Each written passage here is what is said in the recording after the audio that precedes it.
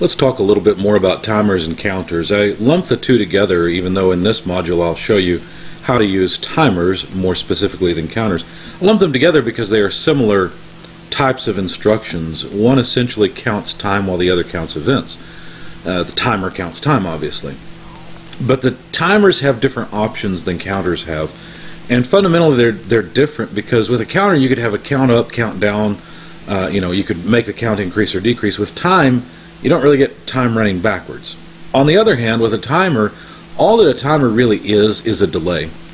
And so what it does is you put a signal into it, and after a certain amount of time, it lets that signal pass through. That's really all that the timer instruction does in this click uh, programming software.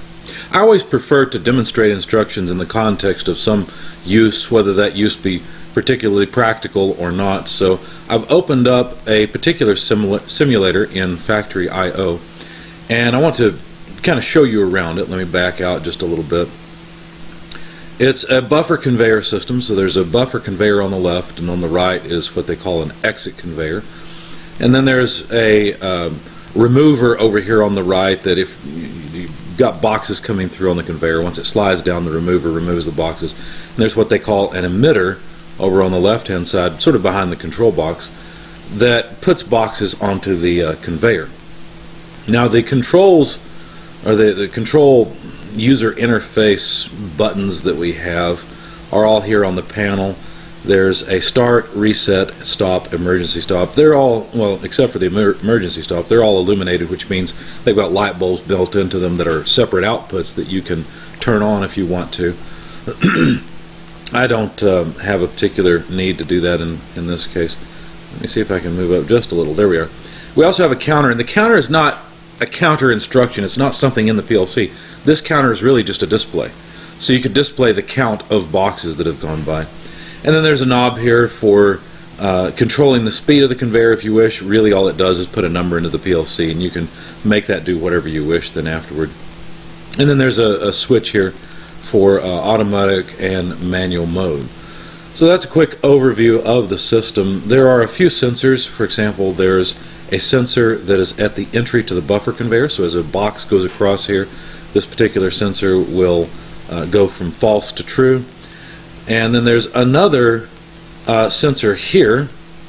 And this particular sensor, you know, I don't know if it is, it looks like it's retroreflective. So since there's nothing there, it seems like we'd be getting a true back. Let's check and see. We'll turn the simulation on and let me actually go into the um, let's see tags and I'm going to force this to stop I don't want the boxes to come through so we'll let's see try to get it to zero if I can let's see there we go I'll turn off the exit conveyor as well. Just reset the simulator because I don't really want anything on the conveyor right now. So if we look at the in, uh, at entry at, at, buffer entry switch, it's off, which makes sense because there's no box there. I've just cleared the simulator, so there are no boxes. Well, I guess there's one at the uh, emitter, but there's no box is certainly tripping that sensor. And, and so this is looking for reflection, right? If there's a box in front of it, there's some reflection that gets back to the center sensor, and then the sensor turns on. On the other hand, the other two sensors are retroreflective, the one at the exit of the exit conveyor and the one at the exit of the buffer conveyor. Those these are just little mirrors here on the end.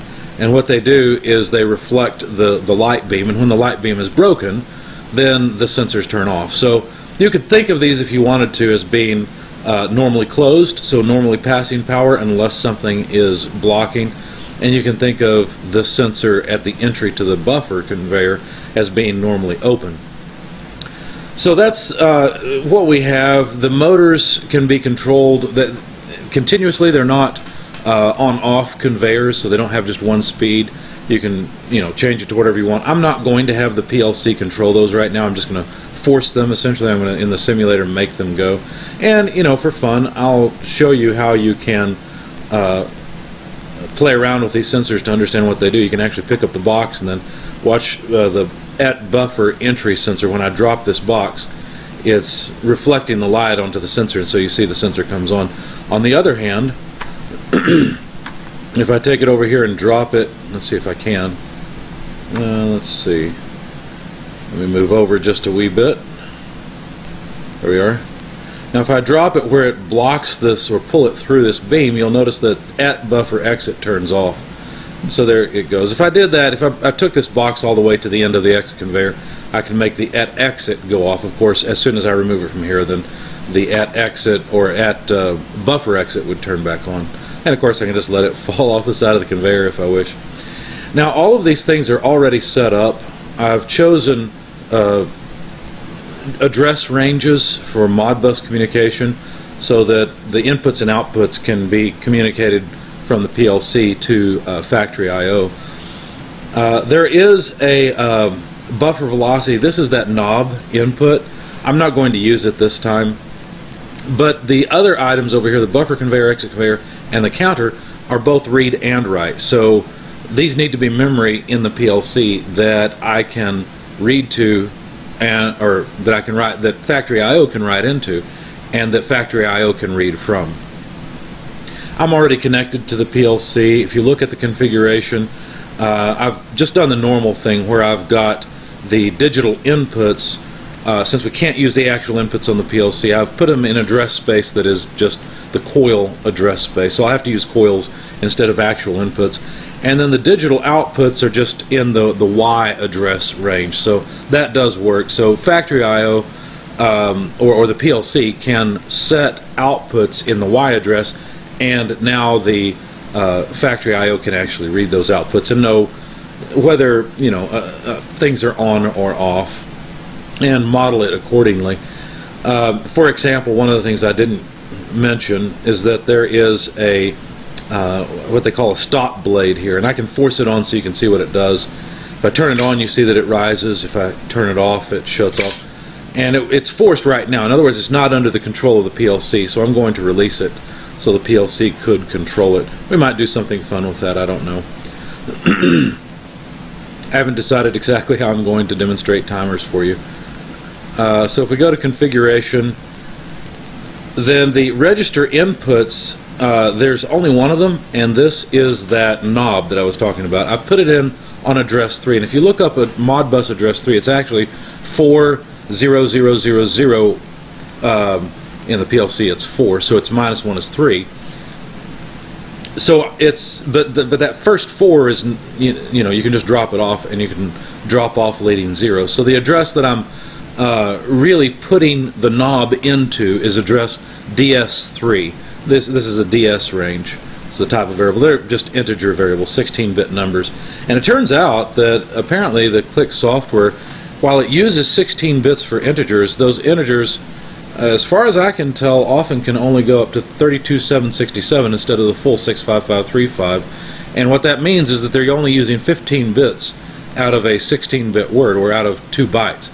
And the reason you might do that is because you might want to reserve the most significant bit for a plus or minus sign. Um, why they did that, I don't know. In some contexts, it doesn't make sense. I would have used what's called an unsigned integer. With that bit reserved, it's called a signed integer. In other words, you're attaching a sign. You're reserving one of the bits to be the SIGN, the sign, uh, and that limits the the range, the number of numbers you can store because you've thrown away one bit essentially, or you know, you can still store the same amount of numbers. Just some of them are negative and some of them are positive, but that limits the maximum positive number that you can store. I guess technically it limits the maximum neg negative number also. But then register outputs, it looks like I haven't put anything in here. Actually, this is the beginning of the DS addresses. So the I've got three different registers for the, uh, let's see, the buffer exit, exit conveyor, and counter, where the buffer exit and exit conveyor would control the speed of those conveyors. And then the counter is that display that I showed you on the control uh, panel but those are referenced to DS1, DS2, DS3. And I've already in, input all of the names in the addresses that are needed. So if I go to the address picker, you'll notice that in the um, C addresses, which I'm using for inputs, I've already named at buffer entry, at buffer exit, and so forth for all my sensors. For the outputs, uh, I have not named them yet, so I will do that now. I thought I had, but I guess I have not. So let me move factory I.O. to the other side. and then the Y addresses, uh, let's see, we've got a stop blade. That'd probably be fun to use. We'll see. If, maybe we'll see if we can knock a box off by timing it just right. So a stop blade and then Y002. We'll assign that uh, start light. Now notice I've already put the Modbus addresses in, right? I had the, what was it, 8192 I think it was. If I display the Modbus addresses, the Y's begin at 8193. So 8192 is what I put in, and that's Y001. It's, it's off by one. It's 0 versus 1 indexed. Um, so reset light, this is the lamp in the reset button, and then stop light. There we are. Now if I say OK, that should save all those names. Now let's see what we can do. Let's, let's just do something simple. Let's start off by implementing a timer. So we'll put a timer here, and, and a timer is like a counter. It has elements that go as outputs, and part of it is input. So unfortunately, just like counters, like CT1 for example, timers, the, the name of the timer and the bit when it's done is a, a little confused. So T1, for example, is the first timer. There's, there's a bunch of timers. I mean, if I go back into it, I could have chosen any number of timers.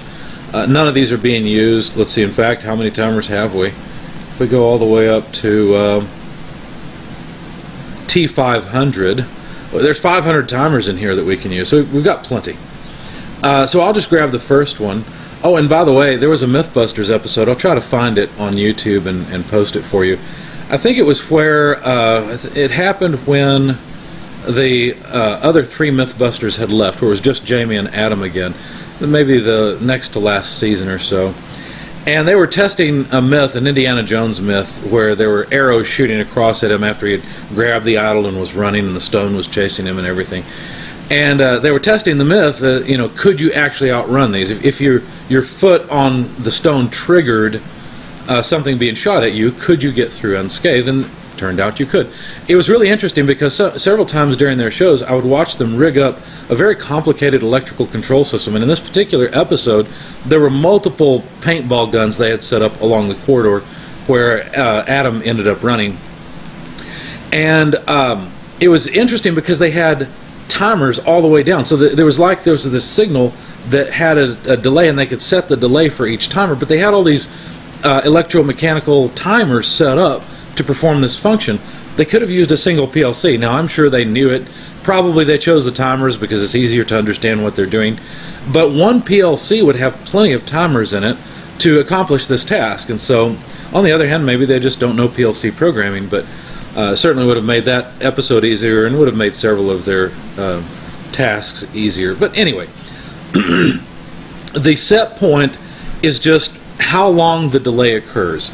And what do I mean by that? Well, the the type of timer that I'm using right now, the default selection, is what's called an on delay timer. And what that means is you're going to have an input. In fact, let me go ahead and just put a number in here for set point so we can discuss it. And that way I'll have it sitting off to the side and you can see it. That'll be helpful.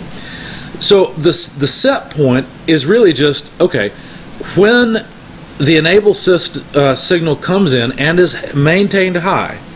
Okay, the timer will run. It will accumulate time, and once the time it has accumulated is at or beyond the set point, whatever I put in, which in this case is a 1,000 milliseconds, which would be a second, then the output of that timer will actually come on, or a bit of that timer comes on. Unfortunately, the name of that bit is T1. So what I'm going to do is just set up a timer that times, let's see, a thousand. Let's make it 10,000 milliseconds. 10,000 milliseconds would be 10 seconds, and uh, TD1 will be where the actual value, the current value, is stored. So what I will do. Uh, let's see. I don't know if the counter can display that large a number, but what I'm going to do is simply have no conditions. So this timer will simply run once I turn on the, you know, once I download the PLC and put it in run mode. So I have to get over to the simulator pretty quick so you can see what I'm trying to do here and demonstrate. But I'm going to make something happen when the timer is done. So unfortunately, like I said, we have to address the bit, the done bit of the timer by the same name as the timer when we're using a set of contacts. So what will happen is the PLC program will start running. This rung has no condition, so it's simply true. And so enable will drive the timer and the timer will count up time. Now, once the timer is done, then this bit T1 will come on and I can make a light come on. So let's make, I don't know, let's make a, uh, you know what, let's just make the, the uh, start light come on. That'll be fine. Or, let's see, I think they've got stop all the way on the right. So let me choose stop. There's a reason for it. We'll do that. So once this timer is done running, the stop light on the control panel will come on. At least that's what I think should, ha should happen. Let's see. Let's turn off the tags and we'll go over here. Now I don't just want to um, see the, uh, what did I choose, the stop light. I don't just want to see it come on. I want to see the current value in the timer be displayed on my so-called counter here. So actually I think I'll switch over and I'll use the start light because it's closer to the display for the counter. So let's change that around and let's see use the start light. There we are. now the value in the timer, that's in memory. If you look, you can look at the address picker and see where the memory is. Uh, TD1 or TD addresses are here. TD1, this is an integer. It's where the the current time, the accumulated time is stored. Okay, so I guess I could uh, actually monitor it as well if I hit data view and then look at the DF and DS. I was looking at other things before, so let me uh, just delete these rows. I don't really want to see them right now. Um, I, will leave the counter in there because I do want to see it. And I also, though, let me change the address here. Instead of a DS address, I'm going to look at the amount of time on the timer. So it's, it's interesting because the timer has a couple of different things associated with it, a couple of different memory addresses. There's the, the T1 address, which is a bit, and there's the TD1, which is the the number, which apparently now right now is 29. I don't know why it's at 29, but you know, whatever. I don't really care. I'm counting up to 10,000, so 29 out of 10,000 is not much. So if I download this, uh, in fact, let me close, and I can go ahead and download it but I won't put it in run mode right yet. Oh, there's a syntax error. Yes, I forgot the end. Oh, and I forgot to set it up to put the count over on you know, the display on the counter display. So I'm just going to use a copy command. And what I'm going to grab is just TD1, which is the accumulated value in our timer, and I'm going to write that out to the display. So I'll choose, uh, let's see, the display is in the DS range because that's the only place I could put it and what I want it to output on is the counter address. The, the address, the DS address I've tied to the counter in Modbus. So there we are. Uh, in fact, let me show you that so that you understand it. Uh, DS3, if I display the Modbus address for that, it's four four zeros three. We can drop that first four. We can drop all the first zeros. So this is address three, but this is one based. Over in um, Factory IO world, it's zero base, so that would actually be address 2. So if you look at the drivers, uh, address 2 is right here, see? So input register address 2, which is the Modbus address. So that all matches each other and will talk the way I want it to. Now I'm still not quite done because uh, what I want to do is make this actually work and so I will add and end instruction. Now there's one thing that students often confuse about timers. They think that they somehow revert back to um, structured text uh, structured text types of programming where the program goes to one line, it does whatever's on that line, it stays on that line until it's done. If you put a delay on the line, it's living at that line and not going to any of the other code until it moves on to the next line, until that delay is done. In a, the PLC world, the whole program is scanned. And what that means is that the first rung is evaluated and then it moves on. So you'll notice what it what really this rung says is, hey, turn on that timer. So what the PLC will do is it'll start scanning, it'll hit this rung, and the rung is instructing it to turn on the timer. If the timer is already running, it just leaves the timer running and goes to the next. If the timer is not running, it starts it and goes on to the next. So it doesn't wait for that timer to be done. Okay, it just turns it on and says, okay, fine, now what do we do? So here what it does, in the next it says, is the timer done? Well, the PLC is going to move through this like that, right? It's going to go line 1, line 2 almost instantly, and the timer won't be near done. 10 seconds will not have elapsed, so this bit will not be true, which means the start light should be off. So it'll say, fine, start light is uh, off. It goes on to the next rung. Since there are no conditions here, every scan this will copy the value, the current value that's in the timer over to the counter, uh, or the counter display over here.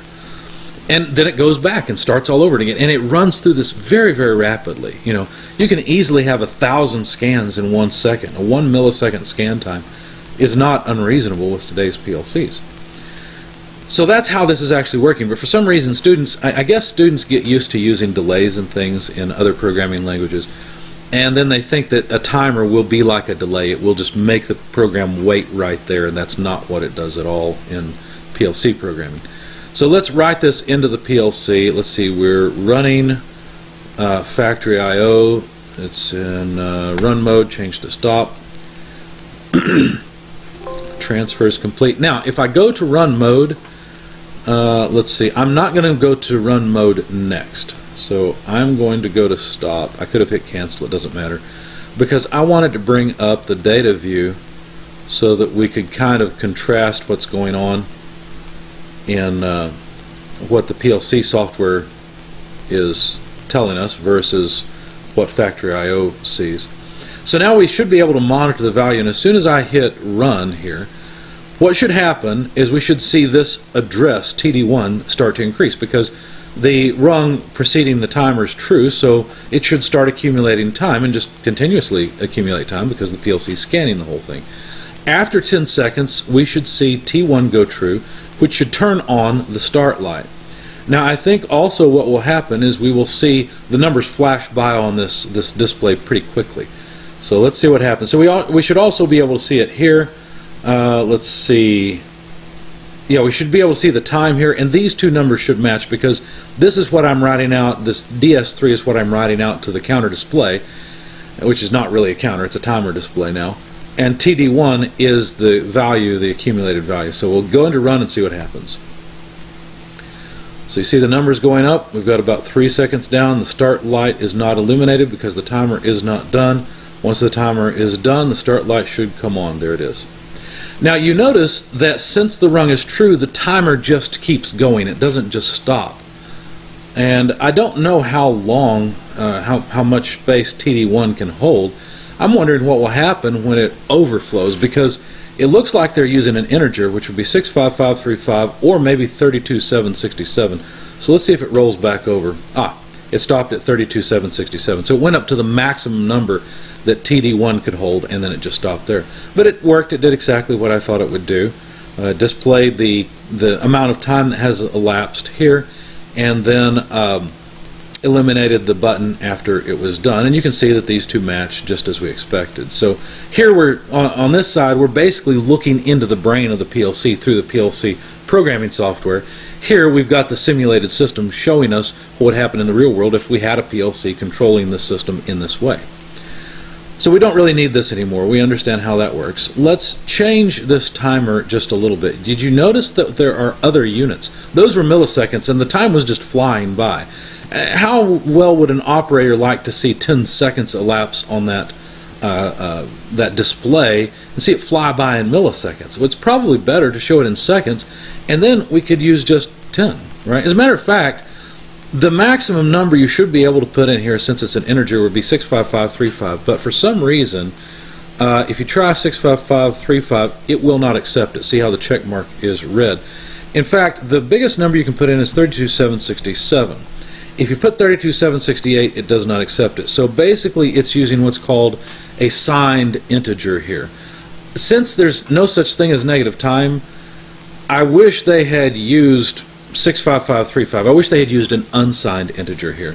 If you think about what this means in terms of the amount of time and the precision that you can uh, can time things for. If you go down to millisecond precision, then a difference of one millisecond can be detected, right? So 32767, if we convert that, 32767 milliseconds into seconds, we just divide by 1,000. So we can time down to a precision of, of 32.767 seconds, right? But if you need 33.50 seconds, you can't do it with one timer. Now you can do it with two timers, but you can't do it with one timer. So it's a little bit strange how the precision sort of uh, breaks off. If we go to seconds, for example, how many seconds or how many minutes is 32.767 minutes? Well, 32.767 divided by 60 is 546.116 forever uh, uh, minutes. So that's the maximum precision. So we can get second precision up to 546 minutes or so. Well, 550, 546.1 minutes or so. Now, if you need 550.2395 seconds for some reason or minutes for some reason, you'll have to do something called cascading timers. But I'm not going to show you that right now. So it's a little bit strange where these end up breaking, but it's fine. Um, so we can choose minute, uh, milliseconds, seconds, minutes, hours, or days. And, you know, 32,767 days, well, how many years is that? Let's find out. 32,767 divided by 365 uh, five roughly. I know there's leap year, but we'll just neglect that. It's about 89.7 years. So probably about 90 years. I don't know that you'd have a PLC operate that long. So the, the total range of time that we can time for is pretty doggone good. I'm not going to sit here demonstrating it for that many days, obviously, though. But let's do something that would make more sense to an operator. If we're timing 10 seconds, let's just put it in seconds because it'll be right at 10 seconds. It'll be precise. It's just we can't have 10.1, right? If I put a point .1 in here, it doesn't accept that because it has to be an integer value. Okay, so let's time 10 seconds. And what I'll do is just uh, download and run the program. Let's see, that should reset the timer. And the reason it resets it is because when you when you put the PLC into stop mode, the program stops running. What that means is that this preceding rung is not true, and so that resets the timer. It's in run mode, change to stop, so technically right there is where we reset the timer. Transfer is complete. Okay, go to run mode. There we are. So now you can see one, two, three, four, five. Very regular you know, you can see that these are seconds. It's easier to understand. 8, 9, and there we go. Okay. Now, unfortunately, when I get to this point, what happens is the timer keeps going, right? The light has come on. You, the operator would not want to see the time keep counting down. How could I make that not happen? Well, remember there's a done bit here. So what I could do is put a an inverting instruction referencing that done bit so when the timer is not done, make the timer run. Let's see what happens with this. So I'll download and run it. Hit OK. Yep, just do it. And transfer is complete. Go to run mode. We're at zero. There we go. Looks good. It's running as I expected because the timer is not done. Goes to five, six, seven, eight, nine. Light should come on, and it looks like it didn't come on. In fact, the timer restarted. What happened? Well, for one scan, actually the timer or the light was on. Now, this bulb may not be able to respond that quickly. Okay, as a matter of fact, it turned on just a moment ago as well. Once this timer is done, then this instruction fires the start light. The only problem is, once the timer is done, this is no longer true, right? The inverse of true is false, so that unenables the timer. Now, I could, I could do some sort of seal in or something, um, but rather than do that, let me demonstrate a different type of timer. This is what's called a non-retentive timer. Let me change it to a retentive timer. A retentive timer is a timer that when the rung preceding it goes from false to true, it starts timing just like any other timer. But when it goes from true to false, it maintains the time it had accumulated. Okay? So I'm going to make this a retentive timer, and if you do that, then there's no way to really reset the value in the, the accumulated value because you've you know you, have it'll never automatically reset. You, you, turning off the enable does not automatically reset it. So a reset line is provided. Now, just like counters, Automation Direct software requires that you make a connection to this reset. I don't know why they do that, but it's easy enough to do. And I've got plenty of memory available, so I will just uh, use a uh, contact pointing to a memory address I'm not using, C2000 for example. And, uh, or, you know what, actually I guess I could use the reset button. Let's try that. So the reset button will just reset it, that would make sense. Uh, C1 address area will grab the reset button, hit OK. There we are. And then write that into the PLC and get rid of this wiring tool. It's a little annoying.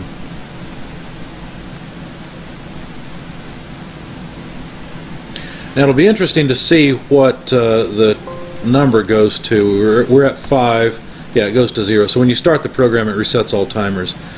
So let's see. Um, the timer's not done, so it runs.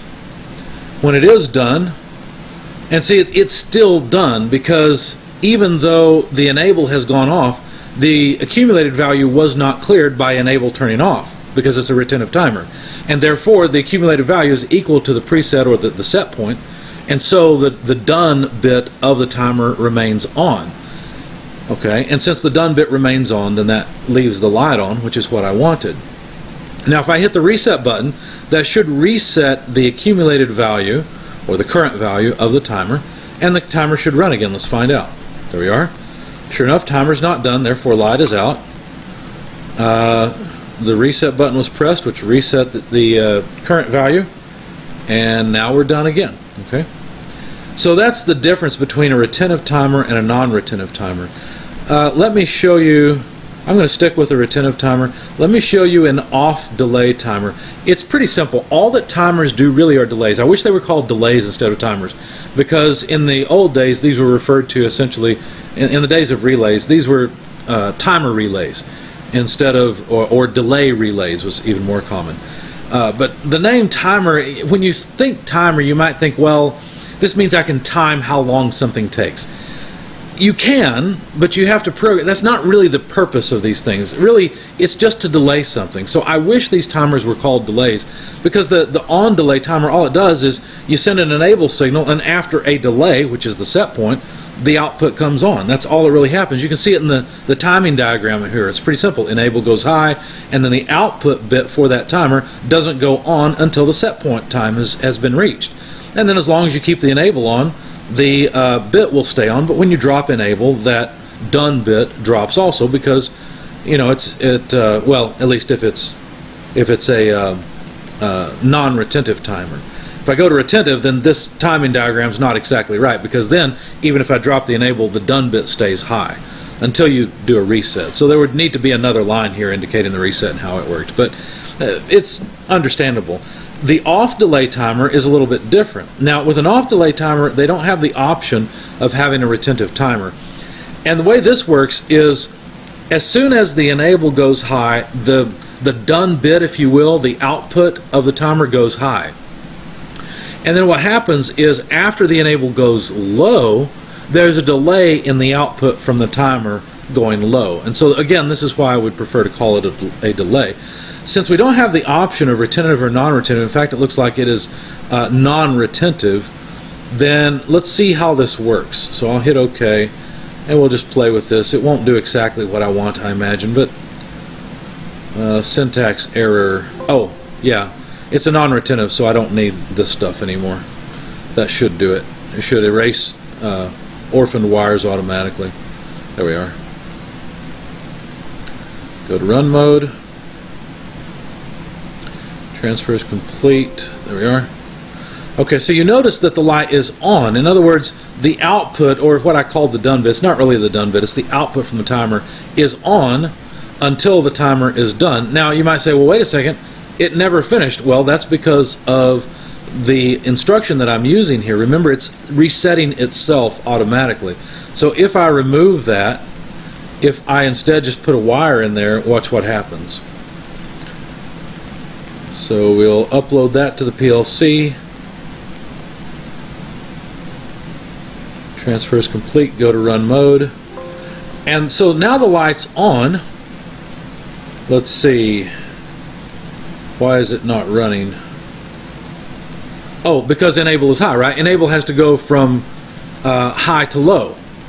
Okay. So I'll tell you what, let's do this. I should have thought that through. If I put a button in here, let me use the stop button. You'll see why here in a moment. Uh, not the, I grabbed the wrong area. I want the C addresses. If I grab the stop button, the stop button is a normally closed, and often it's a good idea to label your buttons and things to indicate whether they're normally closed or normally open. So I'm going to go ahead and add that here. Again, it's always a good thing to have when you're programming so you know what you're dealing with. But I wanted to use the stop button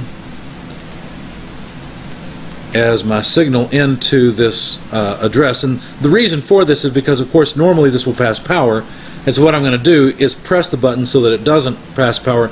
That will allow me to cause the timer to run. And then when I release it, the enable will go back high and the timer will reset. So let's uh, download this and see what happens.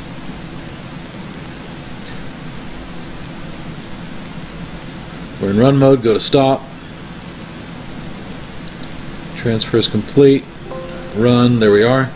Okay, so nothing's happening right now because enable is high since the stop button is passing power.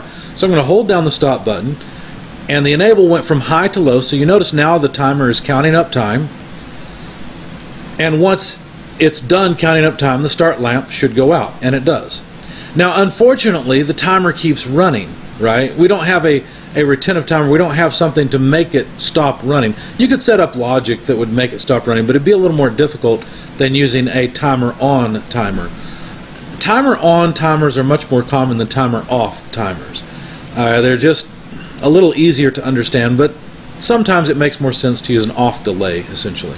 Which you notice in parentheses is what they've called this is an off delay. Okay, so I said that the last thing I wanted to do is, to demonstrate using a timer in the way that, or a delay, in the way that you probably thought they would be used initially when you heard the word timer. You probably thought like a, a kitchen timer, right? You time how much time it takes to cook a, a meal, you set it for 30 seconds, or maybe you measure the amount of time with a stopwatch. Maybe that's what you were thinking. I'm going to use the, the stopwatch idea. I'd like to figure out how much time it takes for a package to go from the entry of the buffer conveyor to the exit of the exit conveyor. So what I'm going to do is use a timer and I'm going to make it start and stop. Okay, I'm going to be try to be clever about how I do this. Now I don't really have a set point. I'm not trying to get something to turn on in the timer after a certain amount of time. So I'm just going to put 32 767, which is the biggest number. I'll put it in milliseconds and let's see. So that would be 32 seconds. A box should be able to traverse both conveyors in less than 32 seconds. And I'm going to use an on delay timer and I think I will retain. And the reason is because once I stop this timer running, I don't want it to just clear its value. I want to display that value on the display over here. So let's see. Um, how do I want to do this? Well, the first thing I need to do is remember that an event has occurred. So essentially, that event is that this first uh, sensor was triggered. So I need to remember that, and then um, at the end, I have to uh, stop my timer somehow. So what will stop the timer is when a box passes the last sensor over here. Now this may be a little bit clunky way to do it, but this is just the way my mind's working right now. I guess what I'm going to do is seal in a bit when this beam here is first broken. So right now it's it's closed. When a box breaks it, uh, then what will happen is it will go false. So the opposite of false is true. So let me put in the address of that exit beam. So let's see, that's at uh, uh, at exit. There we are. And then what I want to do is I just want to seal in a memory address. So I'm going to set, rather than using a seal in circuit, I'm simply going to set memory. Now I say I never use the high addresses, but I guess I'm going to go and use the uh, probably C1000. I know I don't have any inputs connected to it on Modbus, so I'll just use C1000. So what will happen is when the beam at the exit is broken, in other words, when it's not true, memory bit C1000 will turn on. Now, when memory bit C1000 is on, I want to stop this timer. So instead of using this address, what I'm going to do is use C1000, and it's when it goes true that I want this to stop. So as long as it is not true, then I want the timer to run. Okay. Now, I don't really want the timer to run as long as this is not true. I actually only want it to start running when I have detected a box at the entrance. So I guess the easiest way to remember that I've detected a box at the entrance, uh, let's see, is to, let me insert a rung here. I'll do the same thing that I did before. I'll just use a memory address and set it. Let's say C1001. Pretty sure that one's not being used. In fact, I know it's not being used. And notice that this is a sensor that is normally open. In other words, it's normally not true. So when it goes true, so what's that address? Well, let's see, that's one of the C's. It's um, at buffer entry. When it goes true, I want it to I want the system to remember that a box has triggered it because I don't want subsequent boxes that are certain to come after it. I don't want those boxes to restart the timer or do anything weird with my, my bit. So now I've got a bit that tells me, hey, a box has just entered the system. If I use, how would I use that? Well, I would add an AND contact here referencing C1001 so that the only time this timer can run is when I have detected a box entering the system. So as long as a box has entered the system, this bit will be set. That means the timer can run. And as long as a box has not been detected at the exit, the timer can run. Okay. Now it's going to complain to me about the reset not being connected, so I will just connect it. Um, not by default, obviously. I don't want it to always be reset. And if you if you don't put a condition on this rung, uh, Logix Pro, uh, not Logix Pro, but um, uh, the P PLC programming software, the Click programming software will, will complain. So I'm going to put just C2000 here, the, my favorite address that I don't want to use, just way out of the way. And so I don't really want this copy to occur though until we get to the end, until we actually know how much time is is uh, represented here by a box traversing the entire system. So I, I don't want this to happen yet. So what I'm going to do is, um, let's see, I think what I will do is not allow this to do the copy until the box has reached the exit. So uh, exit, so that would be bit C1000. So when that bit turns on,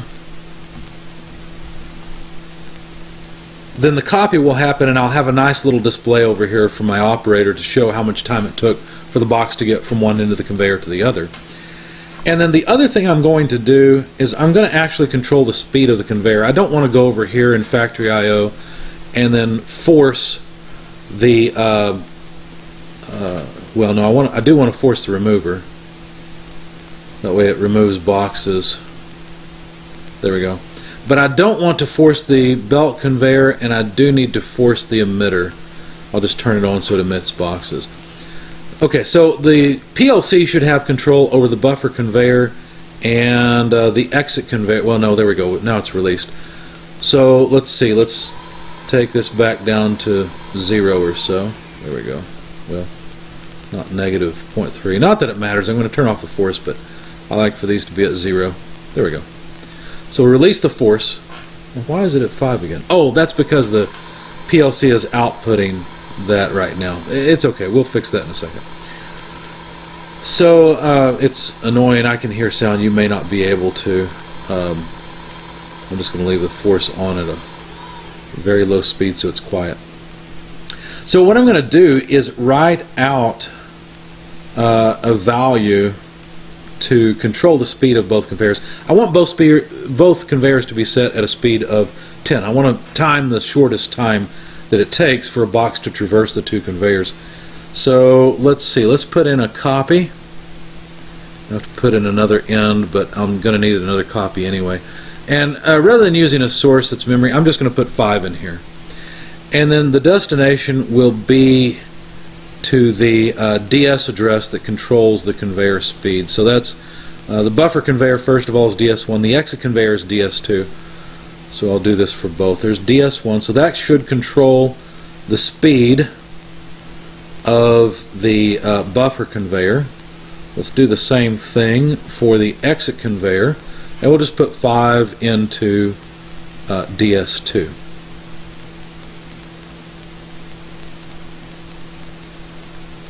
I guess I could have just typed it in so because I, I knew the address. And then finally an end instruction so it will compile and run.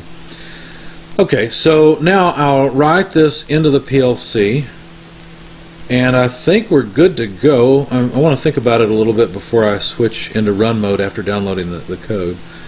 Uh, let's see, that's okay. Before I go into run mode, let's see, I'll clear the docked tags. I'm only forcing emitter and um, remover so that I can get boxes in and out of the system. The counter, I, I want to see what happens, so I guess I'm going to back off just a little bit and we'll see this counter go up, but I can't really see everything at once and read it well. Well, maybe I can actually. If I were to spin around a little bit and then move over to the side, maybe I could see the box go to the uh, exit. So kind of look down the conveyor. Uh, maybe a little more spin. There we go. Now I can't really see uh, the box break the beam. The beam's kind of behind the control box, but at least I can sort of see where I can see the counter. I can I'll see the tip of the box come out. That'll be good enough. I'll see the box go off here. So I think what should happen is both the buffer and uh, exit conveyor should turn on and as soon as a box, you know what, let me cancel this. I don't want to go into run mode yet. Let me make one more change. As soon as a box comes on, uh, what I'm going to do, instead of using that memory address, C1001, I'm going to change this. I'd like to see a light come on. I'm I, I just want to see the run light come on when the box hits the first sensor and then the stop light come on when it exits. I think I'd like that better. It'll make it a little more visual. So at exit will be stop. As a matter of fact, uh, can I cut this rung and then paste above? Uh, let's see. Insert rung before cursor, and at that rung I want to paste. So I just reversed the order. And so at buffer entry, that's what's going to happen first. It doesn't really matter because remember the PLC is scanning this. It's just it helps me think about it uh, right. So it'll go through this you know rung two many many many times before it actually sets the output but the output I want it to set is the lamp so I'm going to use that as a memory bit instead that way I can also see it happen I, I like visual things so let's see the output is going to be the Y's and it's the start light that'll be good and so everywhere I had C1001 I need to replace it with Y002 and you can actually do a replace in the software. In fact, I'll demonstrate that next. Uh, so there's a couple of C1000 addresses. There's one here. If you're worried about making a replacement one place and not everywhere, you can actually choose what address you want to make the replacement. Uh, for example, here I want to use the stoplight, which is Y004. I'm going to cancel this. And you can do an edit uh, replace and everywhere it finds C1000 I want it to put what was that Y oh goodness I've lost it it was the start light on 2 I thought reset was on 3 and maybe 4 is the stop. I don't know. We can do another replace if necessary. Y004 now it does not like that. Why not? Well that is the stop light I say replace all, it says can't replace because the following memory address is out of range, memory types are different, fields not complete. Okay, so if I put uh, C1000, yeah, this is not as powerful as a, a, replace as I would like. So maybe I'm doing something wrong, but I don't think so. I think it doesn't like the fact that the C1000 is, is a different kind of memory than Y004. Um, maybe it's something I'm missing. Looks like I'll have to do the replacement myself. but that's okay. Y004, there's only a few places. The problem with doing a manual replacement is you might miss one. It's nice to have the machine do it for you, but looks like that's not an option unless there's something I don't know about the software. So we've got the stoplight everywhere now instead of that memory bit. And so now let me download this. The PLC is still in stop mode. So it shouldn't ask about switching to stop mode. Yeah, I think I'll like that better. So now let's go to run mode. The simulator is running. So we should see the start light come on pretty quickly once a box passes it, and then the stop light come on. And we should see our count on the uh, count display over there, our time on the count display. Now the stop light came on immediately. And I don't know why they are stacking up because it looks like yeah, things are not working the way I expected. I think I've got a bug in my uh, my program. Let's figure out what happened. Let's go and view the tags so we can tell what's going on. Ah, the problem is I forced the exit conveyor, so let me release it. Now it's running. I'm going to stop the simulation. I'm going to put the PLC into stop mode. I'm going to get these tags out of my way. I think I've still got a bug. Clear docked tags. Uh, the simulator's reset, so now we can play. Oh, that's not what I wanted to do. Okay, so now let's go into run mode again on the PLC. And let's see, no time has accumulated, that's good. The lights aren't on because the boxes have not started moving, so let's just hit play. The conveyors come on my start light did come on, but for some reason my stop light came on prematurely. I don't know why. Let's see, let me reset this thing.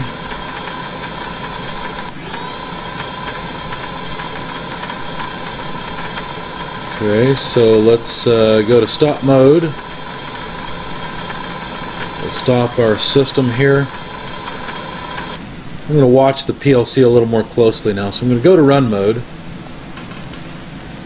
Let's see. As soon as I turn on... Oh, I know what's happening.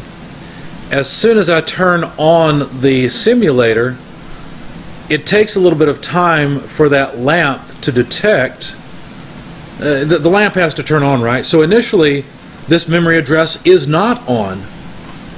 So what I'm going to have to do to make this stoplight go on is say, well, I have to have seen a box at the entry and then also, in other words, and see it at the exit. Because watch, if I hit run, the at exit immediately comes on.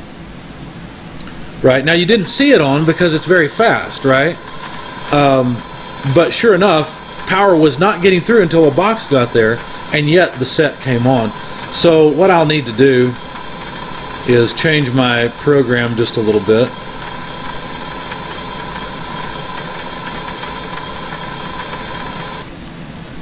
and make it so that I've got another condition here which is just really uh, C1 so I don't really want this stop memory to come on until two things have happened until I've seen a box come through the entrance and and actually, I guess a better way to say that is Y002 because the uh,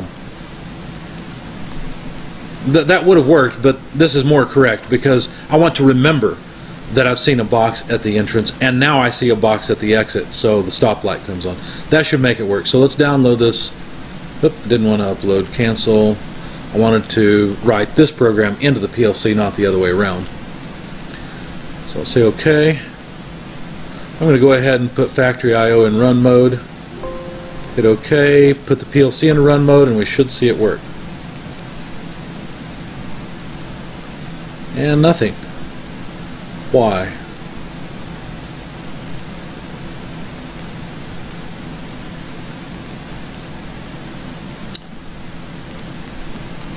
Let me hit stop and run again.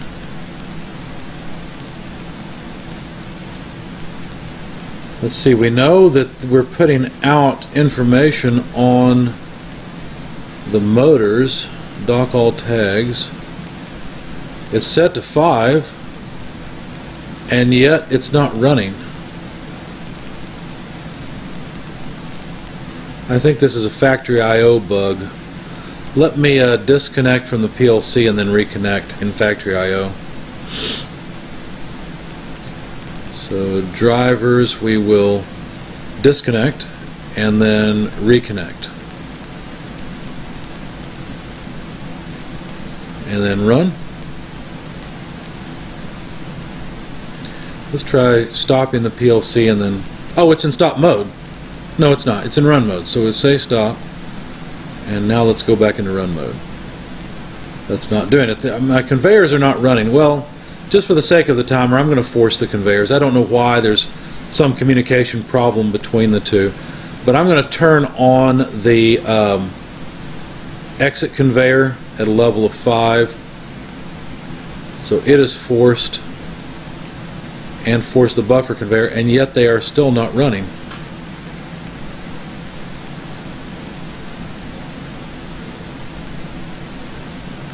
As I said, I think this is a factory I.O. bug because it should certainly be running right now. I don't know why it stopped. I'm going to exit factory I.O.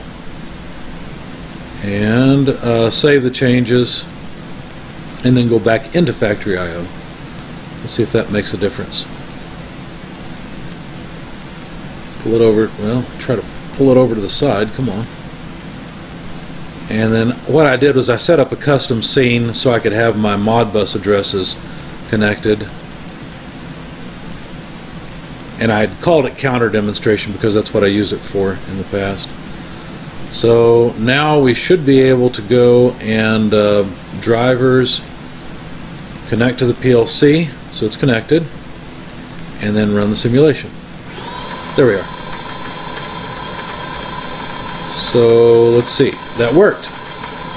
The uh, start time, uh, or when the box came through, it started the light or turned on the light, and when the box finally ended it, it stopped it. So now I can go and view the uh, camera navigation so I can move over and see that it took uh, 44.95.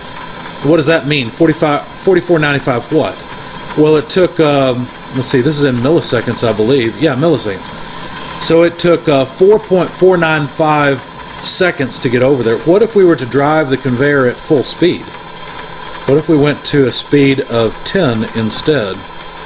So we'll just put 10 into the buffer conveyor and into the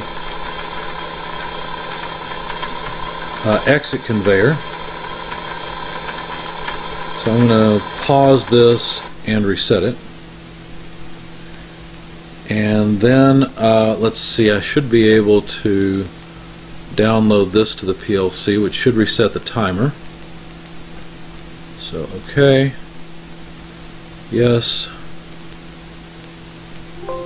Transfer is complete. Go to run mode. There we go. It seems to have trouble when I go to run mode when I, I guess maybe wasn't in stop. Let me make this uh, stop and then um, we'll run the simulation and then go to run mode again here. No, this is strange. I don't know why it's doing this. It'll just be a different amount of time, but I want to see it. So let me exit Factory I.O. I guess I'll pause the PLC again. Restart Factory I.O. It's probably something I'm doing wrong or a bug like I said in Factory I.O.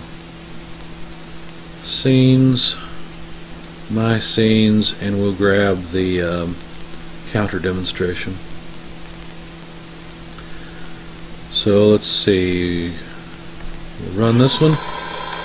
Oh drat, that's not what I wanted.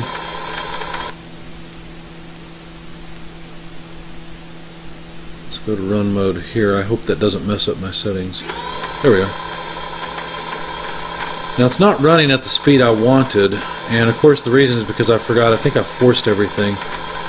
Let me look at the docked tags. Yeah, I'm forcing. So let me release. There we are. Reset everything, but for some reason these are no longer writing properly. Oh, I bet I know what it is. I forgot to set my memory addresses. Uh, configuration. No, I've got them set. Oh, I'm not connected. There we go. Let's connect to the PLC. There we go. Now we're going a lot faster.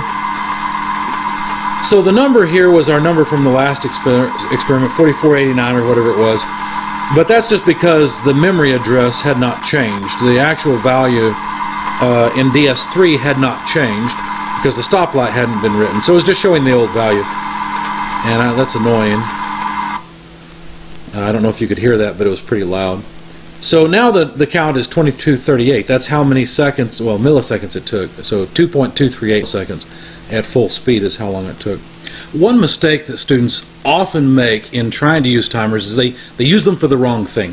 So, for example, if we didn't have a sensor at the end of this conveyor system, a lot of students would think, well, that's no problem. What I'll do is I'll just start a timer when the box triggers the first sensor, and then I'll make sure that the timer, you know, I'll go and I'll measure the system, see how long it takes with a stopwatch for the box to get to the end, and that's the, the set point I'll put in my timer. And then, you know, in my program, when the timer is triggered by the box coming in, then after the timer is done, because I've, I've measured the, the time, the box should be at the end of the conveyor line, right?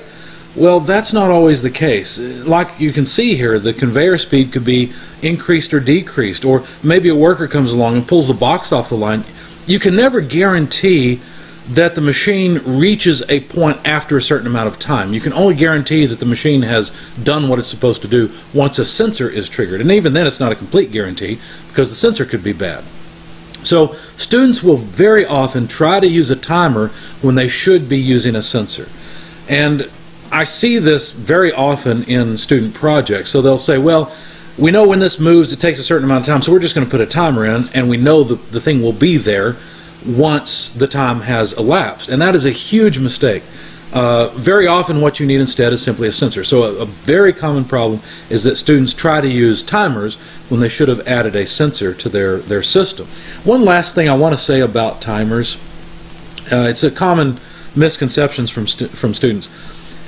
Counters are edge triggered. So the enable or the count up, count down inputs on counters are edge triggered. So they sense changes in inputs. On the other hand, timers are level triggered. So you have to maintain the enable signal going into the timer for it to keep running. And that's a fundamental difference between the two. Even though both of them are essentially counters in that one counts events and the other one counts time, uh, the the thing that makes them go, right, the, the enable, the count up, the count down, is fundamentally different in how it responds to either level triggering or edge triggering. So you need to remember that because you might start to blur the lines in your mind between timers and counters. And it's important to remember that there are differences, and there's a lot of options, obviously, with timers as well, in terms of whether it's an on delay or an off delay, and whether it's retentive or not. Uh, I typically use on delay because you can do anything with an on delay you can do with an off delay, and then that gives me the option of uh, having a retentive timer. Um, obviously, we can time over a very wide range. You would call this the basis. The timing basis is just the units that you're measuring time in. Obviously, if you change that, you can you know have a very different amount of time. So I hope this helps you understand how timers work and demonstrated it for you so that you can use them in your own projects.